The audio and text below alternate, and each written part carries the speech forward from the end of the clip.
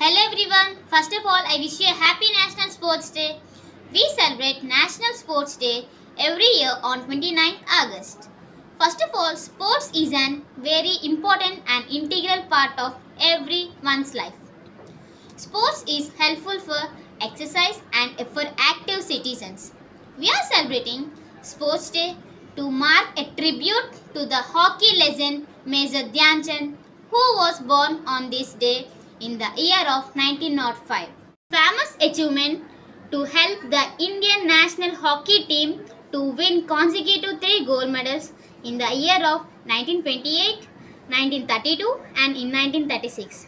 He is the only one legend of hockey on this earth. He is known as Wizard of Hockey.